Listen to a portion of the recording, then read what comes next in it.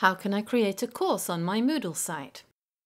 When you log into your site as an administrator, you can add a new course by clicking Site Administration, Courses, Add a new course.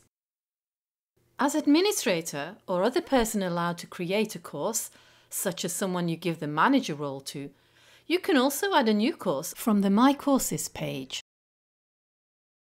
Note that once you've added a course and added a teacher to it, they can edit these settings by default.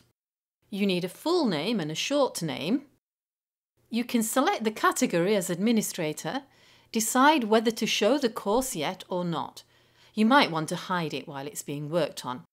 And you can add a start and end date. Student access is controlled by enrolment dates, however, not course dates. The course summary and images are shown on a course participant's My Courses page and, depending on your settings, also on the front page list of courses. If we click Course Format, this is where we can choose how we'd like the resources to be displayed. We can have custom sections.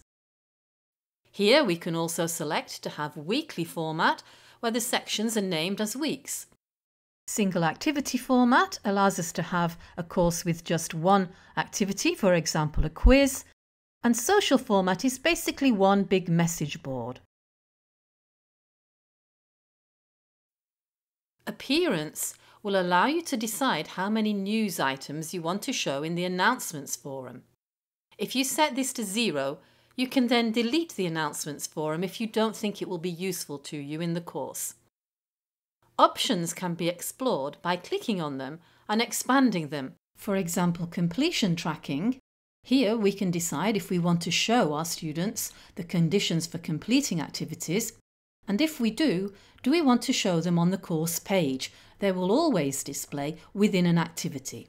Finally, clicking Save and Display, Participants, Enrolled Users Role Renaming if you don't want to call your students students, but you want a different name, learners, for instance, then you can change the name here and it will appear just in your course.